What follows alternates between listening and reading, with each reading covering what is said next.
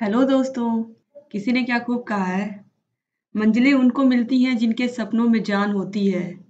पंख से कुछ नहीं होता, हौसलों से उड़ान होती है। इसी बढ़िया सोच के साथ स्वागत करती हूँ मैं आप सभी का target UP TET, C TET channel में। दोस्तों, हिंदी विषय के अंतर्गत हम लोगों ने 2011 से लेकर 2018 तक का यूपी टेट का सारा क्वेश्चन पेपर सॉल्व करवाया है विथ एक्सप्लेनेशन हम लोगों ने 500 क्वेश्चंस की सीरीज़ भी स्टार्ट की है, जिसको आप ज्वाइन कर सकते हैं। और उन सबका लिंक मैं डिस्क्रिप्शन बॉक्स में दे देती हूँ। आप बिल्कुल उसको देख सकते हैं, ठीक है? और दोस्तों, आज का जो हमारा टॉपिक है, वह है तत्सम और तद्भव शब्द। दोस्तों, यह टॉपिक कोई भी एग्ज़ाम जिसमें भी हिंदी आती है, उसमें छूटता नहीं है। अगर आपने अच्छे, इसको अच्छे से तैयार कर लिया है तो आपके नंबर बिल्कुल श्योर है कि आपको एग्ज़ाम में भी मार्क्स आपके कोई भी काट नहीं सकता है। तो दोस्तों, चलिए आज बहुत ही शानदार ट्रिक के साथ हम पढ़ेंगे और ऐसी ट्रिक जिसको एक बार अगर आप देख लेंगे तो फिर कभी आप भूलेंगे नहीं। दोस्तों, चलिए बिना देर करते हुए शुरू करते हैं। पहले जान लेते हैं आम भाषा में तत्सम शब्द क्या होते हैं और तद्भव शब्द क्या होते हैं। तो दोस्तों, तत्सम शब्द का अर्थ होता है या यह मिलकर बना हुआ है तत् धन सम से। इसका अर्थ होता है उसके समान। यानी कि दोस्तों, वे शब्द जो संस्कृत भाषा में जैसे थे, वैसे ही हम लोगों ने उसको हिंदी में एक्सेप्ट कर लिया है या हिंदी भाषा में हमने उनको, उसको रख लिया है। तो वे शब्द कहलाते हैं तत्सम शब्द। जैसे श्लोक, संस्कृत भाषा का शब्द है हम लोग हिंदी में भी श्लोक ही बोलते हैं। कृपा, कृष्ण तो ये सब शब्द हमने जिस प्रकार से संस्कृत के शब्द थे ये, उनको हम लोग ऐसे हिंदी में भी यूज़ करते हैं। ठीक है दोस्तों? अब चलिए देखिए, एक चीज़ समझ में क्लियर आ गया होगा आप लोगों को तत्सम शब्द जो होते हैं, वो संस्कृत के शब्द होते हैं और उनके साथ कोई भी छेड़छाड़ नहीं हुई रहती है वह सेम टू सेम जैसे संस्कृत में थे, वैसे हिंदी में भी यूज़ किए जाते हैं। ये आप लोग को याद रखना बहुत ज़रूरी है, इसके बाद बाकी और सब चीज़ें इसके आगे आसान है। अब दोस्तों देखिए तद्भव शब्द क्या होते हैं? तद्भव शब्द तत् धन भाव से मिलकर बना है, जिसका अर्थ होता है विकसित या उत्पन्न। यानी कि दोस्तों, जो शब्द संस्कृत से पाली भाषा में, फिर प्राकृतिक भाषा, प्राकृत भाषा में, फिर अपभ्रंश में होते हुए हिंदी में आए हैं। यानी कि उनका जो स्वरूप है, वह पाली में थोड़ा बहुत चेंज हुआ, फिर प्राकृत भाषा में थोड़ा बहुत चेंज हुआ, अपभ्रंश में चेंज हुआ, फिर चेंज होते होते हिंदी भाषा में आ गया। तो इस तरह से देखा जाए तो वह जो भी शब्द थे, वो क्या हो गया? वो धीरे धीरे उनका रूप बहुत ही परिवर्तित हो गया। तो इन शब्दों को कहा गया तद्भव शब्द। जैसे अग्नि पढ़ा था आपने, अग्नि आते आते आते आते हिंदी में क्या हो गया? आग बन गया। वर्षा क्या हो गई? बरसात हो गई। कृष्ण क्या हो गया? किशुन हो गया। तो इस तरह से हिंदी भाषा में जो शब्द आए, वह क्या हो गए? तद्भव शब्द हो गए। संस्कृत से बिगड़े हुए रूप जिनको हम कहते हैं। तो इस तरह से आपको उम्मीद है कि समझ में आ गया होगा दोस्तों। तो चलिए अब अच्छे से इनकी ट्रिक्स देखते हैं, मज़ेदार ट्रिक्स जो आप लोग एक बार अच्छे से पढ़ लेंगे। तो आप लोग कभी भी एग्ज़ाम में ये तो गलत करके बिल्कुल नहीं आएँगे, कौन सा शब्द तत्सम है, कौन सा तद्भव है, और किस प्रकार से यह, किसका क्या तद्भव या तत्सम होता है। बहुत ही छोटे छोटे छोटे रूल्स हैं, जिनको बस को समझना है, इसमें रटने वाली कोई चीज़ है ही नहीं। एक बार अगर आप समझ लेंगे आपको कभी नहीं भूलेगा। देखिए दोस्तों, पहला रूल है, देखिए, कि जो हमारा तद्भव में ख होता है, वह तत्सम में क्या होता है? छ होता है। यानी कि जो हम लोगों ने संस्कृत में छ पढ़ा था, वो अब हमारे हिंदी में क्या पढ़ा जाता है? ख पढ़ा जाता है। तो दोस्तों, हम लोग यहाँ पर देखिए, ज्ञात से अज्ञात की ओर का रूल अपनाएँगे। जैसे मनोविज्ञान में शिक्षा शास्त्र में पढ़ाया जाता है कि हमको जो ज्ञात है पहले हम उसको पढ़ें, फिर अज्ञात की ओर जाएँ, जिसको हम आगमन का नियम कहते हैं। तो यहाँ पर भी वही चीज़ है, पहले हम लोग तद्भव शब्दों को जानते हैं तो हम लोग तद्भव शब्द जैसे खेत जानते हैं, लेकिन क्षेत्र कम लोग जानते हैं। तो हम लोग जिन शब्दों को जानते हैं, उन्हीं शब्दों से पढ़ेंगे कि इसका तत्सम शब्द क्या होता है। तो अब हमारा जो, हमारी बोलचाल की भाषा में जो हम यूज़ करते हैं, हिंदी में खा यूज़ करते हैं, वह तत्सम समय क्या होता है? छा होता है। यहाँ की कि यानी दोस्तों, जहाँ भी छ आएगा, वो आपको समझ जाना है कि यह तत्सम शब्द है। अब चलिए देखते हैं, जैसे खेत का क्या है? क्षेत्र हो गया तत्सम में। खीर का क्या हो गया? क्षीर हो गया। खार का क्या हो गया? छार हो गया। खुर का क्या हो गया? छुर हो गया। खोदना का क्या हो गया? छुना हो गया। जहाँ भी आप देखेंगे ख, वहाँ ख का क्या हो गया? छ हो गया है। अब देखिए यहाँ पर खत्री का क्या हो गया? छत्री हो गया। साथ देखिए अखाड़ा का अच्छवाट हो गया, अखरोट का अच्छवाट हो गया, अंगरखा का अंग रक्षक हो गया। जहाँ पर भी आप ख देखेंगे, उसका छ हो जाएगा। आँख का अच्छी हो गया। यहाँ पे देखिए, ईख का इच्छू हो गया, भीख का भिक्षा हो गया। फिर दोस्तों देखिए माखन का मृक्षण हो गया साखी का साक्षी हो गया, सीख का शिक्षा हो गया, खुरपा का छुरप्र हो गया। फिर दोस्तों देखिए, आखेट का छोट हो गया, न का ड़ होता है तत्सम में, यानी कि जो हम ना पढ़ते हैं, हिंदी में, वह होता है अड़ा किसमें? तत्सम शब्द में, यानी कि जिस शब्द में अड़ा लगा होगा, वो शब्द क्या होंगे? तत्सम शब्द होंगे। तो दोस्तों चलिए बिना देरी किए देखते हैं हिरन, हम हिरन पढ़ते हैं, उसका तत्सम शब्द क्या होता है? हरिड़ होता है। देखिए, न का क्या हो गया? अड़ा हो गया। सुमिरन है। सुमिरन को संस्कृत में कहते हैं या तत्सम शब्द में कहते हैं स्मरण। अब देखिए, यहाँ पर भी न का अड़ा हो, जहाँ पर भी ड़ा आएगा, वो क्या होंगे? तत्सम शब्द होंगे। यहाँ पर देखिए, ट्वेंटी है सोना। सोना का स्वर्ण हो गया। लक्षण का लक्षण हो गया। कान का कर्ण हो गया। ऊन का ऊण हो गया। फिर देखिए दोस्तों, न का बिकना का विक्रयण हो गया, त्रिगुण का तिगुना हो गया। दोस्तों, यहाँ पर देखिए, ये यहाँ पर होना चाहिए था, तिगुना यहाँ पर होना चाहिए था, त्रिगुण यहाँ पर होना चाहिए था। थोड़ा सा उल्टा हो गया, इसको आप लोग समझ लीजिएगा कि जिसमें भी अड़ा है वो क्या है, तत्सम है, और जिसमें न है वो क्या है तद्भव है। इसको याद रखिएगा दोस्तों, ठीक है? ये थोड़ा सा मिस्टेक हो गया है। तो जहाँ पर भी मैंने आपको बताया अड़ा होगा वो क्या होगा, तत्सम शब्द होगा। तो यहाँ से आप लोग समझ सकते हैं इसको। पान का क्या हो गया? पर्ण हो गया, पाहन का पाषाण हो गया, पहुना का प्रागुड़ हो गया, नून का लवण हो गया। जहाँ पर भी न आया उसका क्या हो गया? ल हो गया, किसमें? संस्कृत भाषा या तत्सम शब्दों में। दोस्तों, आगे चलिए देखते हैं। छीन का हो गया क्षण, चना का हो गया चड़क चरण का हो गया चरण, चूरन का हो गया चूर्ण, चवाना का दोस्तों चरवण, चूना का चूर्ण, गिनना का गणना फिर दोस्तों देखिए थर्टी सेवन है।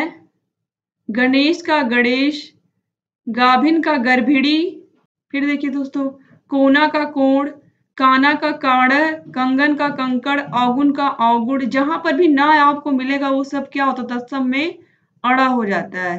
उम्मीद है कि समझ में आ गया होगा। इसीलिए मैंने बहुत सारे एग्ज़ाम्पल देने की कोशिश की कि आप लोग को इजी वे में, समझ में आ जाए। यहाँ पर देखिए, ब का वा होता है, यानी कि तत्सम शब्द में जो हमारा वा होता है, वो तद्भव में क्या होता है? बा होता है। जो हम हिंदी में बा बोलते हैं, वो वास्तव में संस्कृत में क्या होता है? वा होता है। जैसे बंदर हम लोग देख, पढ़ते हैं तो बंदर का होता है वानर, शुद्ध शब्द होता है वानर। फिर बादल का वारिद, बिच्छू का वृश्चिक, बेटा का वत्स, बिजली का विद्युत, बकरा का वक्रर बड़ का वर बढ़ना का वर्धन, बाघ का वाटिका, बैल का वृषभ, बहू का वधु, बखान का व्याख्यान, ब्याह का विवाह। फिर दोस्तों, बरसना का वर्षा, बनिया का वड़िक बारात का वर यात्रा। यानी कि जहाँ पर भी हम हिंदी में या तद्भव में ब यूज़ करते हैं, उसका संस्कृत में क्या होता है? व होता है या उसका तत्सम वर्ड व होता है। यानी कि जिन वर्डों में व होता है, उनको हम तत्सम शब्द भी कह सकते हैं।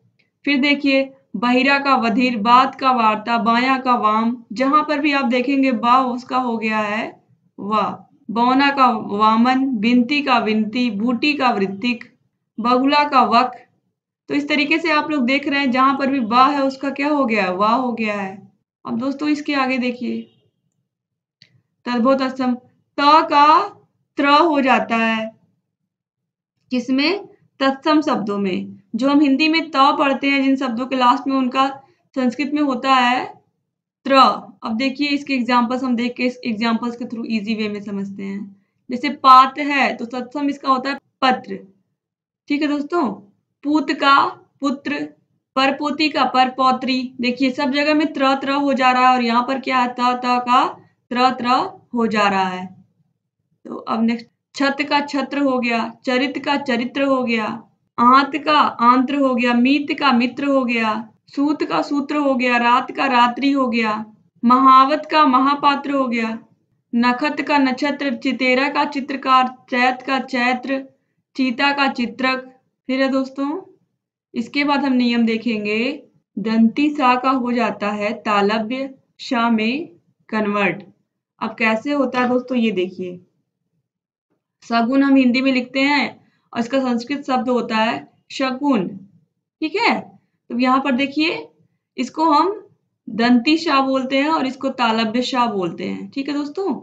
याद रखिएगा, इसका उच्चारण तालु से होता है, इसीलिए तालब्य शाह, इसका दंत से होता है, इसीलिए दंती शाह।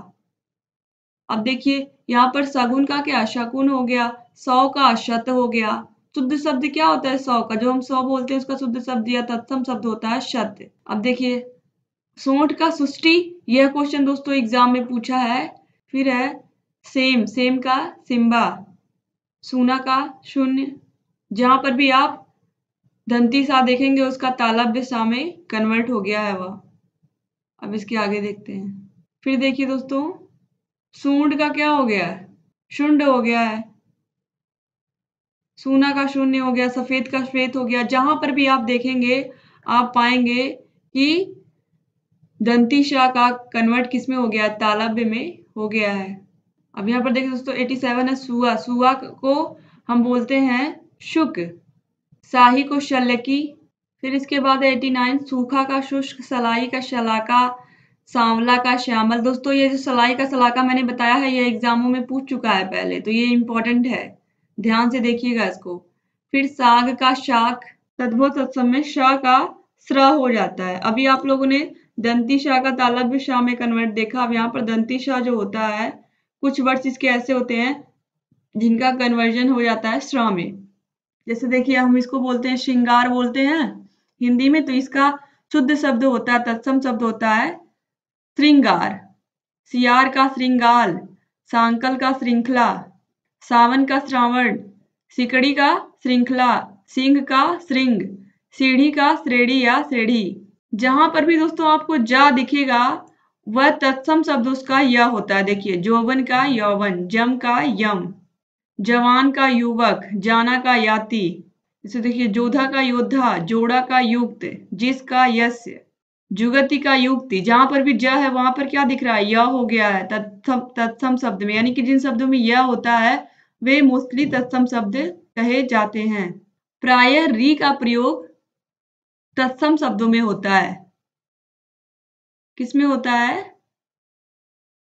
तत्सम शब्दों में होता है। अब देखिए जैसे श्रृंगार है श्रृंगार री री की मात्रा लगी है। फिर देखिए घी हम लोग तत्सम में पढ़ते तद्भव में पढ़ते हैं। इसका होता क्या तत्सम? घृत होता है। मिट्टी मृतिका। तो यहाँ पर आप लोग देख रहे हैं जिस, जिस भी वर्ड में री आया है वो क्या है? तत्सम शब्द है। तो ये इससे आप एग्ज़ाम में पहचान भी सकते हैं। मौत का क्या होता है? मृत्यु होता है। जहाँ पर भी री आती है वो सब तत्सम शब्द होते हैं। ठीक है दोस्तों? इसको आप लोग याद रखिएगा। एग्ज़ाम में अगर पहचानने को आएगा तो गलत नहीं होगा। दोस्तों अब कुछ अपवाद भी होते हैं। हर जगह कुछ रूल्स के आ, से जो बच जाते हैं वर्ड्स उनको हम अपवाद में लेते हैं। तो देखिए जैसे खांसी का क्या होना चाहिए था? छांसी होना चाहिए था ना? खा का छा होता है लेकिन यहाँ पर देखिए कास होता है। चुमना का चुंबन होता है, यहाँ पे ना का अड़ा नहीं हुआ, छठा का षष्ट होता फिर इसके बाद देखिए सजन है सदन का स्वजन होता है, यहाँ पर भी ना का अड़ा नहीं हुआ तो कुछ अपवाद होते हैं, ये सब अपवाद स्वरूप है। तो अब चलिए आगे देखते हैं, जहाँ पर भी ठा आता है, उसके आगे मूर्धन्य शाह आ जाता है, यानी कि आधा मूर्धन्य शाह आ जाता है, और मोस्टली इसके साथ ठा भी मिलता है कहीं कहीं नहीं मिलता है तो ये जो मूर्धन्य शाह है, आधा ये ज़रूर मिलता है। तो चलिए देखते हैं, जैसे होठ है तो होठ का क्या होगा? ओष्ठ हो गया। साठ है, षष्ठी हो गया। देखिए, मूर्धन्य शाह आ रहा है सब में। फिर इसके आगे चलिए देखते हैं। काट का कास्ट हो गया ऊठ का उत्तिष्ठ हो गया, मुट्ठी का मुष्टि हो गया। स में कन्वर्ट हुआ दोस्तों, देखिए। यहाँ पर एक्स्ट्रा सा लग जाता है। रूठा का रूष्ट हो गया, रीठा का अरिष्ट हो गया। स ज़रूर आएगा दोस्तों। यहाँ पर देखिए दोस्तों, जो क्षत्रिय छ है, जिसका उच्चारण हम तालु से करते हैं, वो छ किसमें कन्वर्ट हो जाता है क्षत्रिय वाले छ में। ठीक है? तो देखिए, यहाँ पर छिन है छड़ हो गया। छीन है छीड़ हो गया। छुरी है छुरिका हो गया। छती है छति हो गया। जिन वर्णों में ज्ञ वर्ण आते हैं, वह तत्सम शब्द होते हैं। देखिए जैसे, रानी का रागी हो गया। उम्मीद है दोस्तों मुझे कि आप लोगों का नंबर बढ़ाने में यह डेफिनेटली मदद करेगा, यह चैप्टर दोस्तों। और अगर आपको वीडियो पसंद आया हो तो प्लीज़ इसको लाइक करिएगा, अपने फ्रेंड्स के साथ व्हाट्सएप इंस्टाग्राम फेसबुक जहाँ पर भी हैं आप, उन सबको शेयर करिएगा ताकि वो लोग भी इस वीडियो का लाभ ले सकें और एग्ज़ाम में अच्छे मार्क्स गेन कर सकें। और दोस्तों, अभी अभी तक अगर आप लोगों ने मेरा चैनल सब्सक्राइब नहीं किया तो प्लीज़ सब्सक्राइब कर लीजिए और बेल आइकन को भी ज़रूर प्रेस कर दीजिए, तभी आपको कोई भी नया वीडियो मैं बनाऊँगी तो आप लोग के पास उसकी नोटिफिकेशन पहुँच जाएगी। दोस्तों, वीडियो देखने के लिए बहुत बहुत धन्यवाद।